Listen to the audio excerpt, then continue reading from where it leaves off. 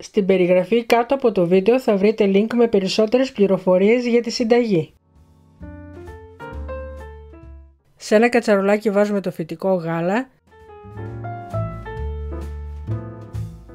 την ζάχαρη, τον ιζεστέ και ανακατεύουμε σε μέτρια φωτιά μέχρι να γίνουν κρέμα. Όταν είναι έτοιμη την κατεβάζουμε από τη φωτιά και αρωματίζουμε με τις βανίλιες.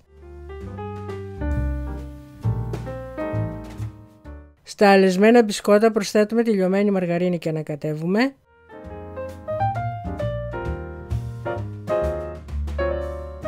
Τα στρώνουμε σε φόρμα 26 εκατοστών με αντικολλητικό χαρτί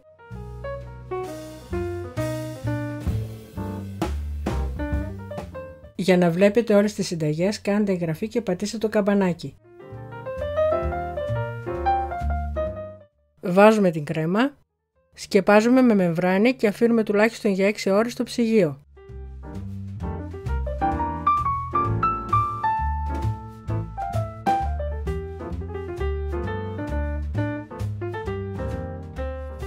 Σε αντικολλητικό τηγάνι βάζουμε την καστανή ζάχαρη και τα ροδάκινα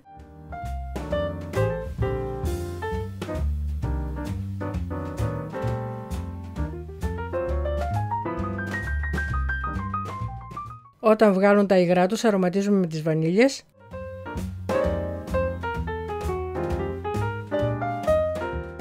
και προσθέτουμε τον ιζεστέ που έχουμε διαλύσει σε κρύο νερό. Μόλις γίνει διάφανο κατεβάζουμε από τη φωτιά και όταν έρθει σε θερμοκρασία δωματίου το βάζουμε πάνω από το γλυκό.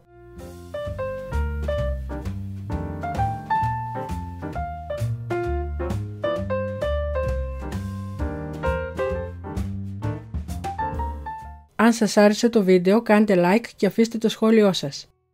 Καλή επιτυχία!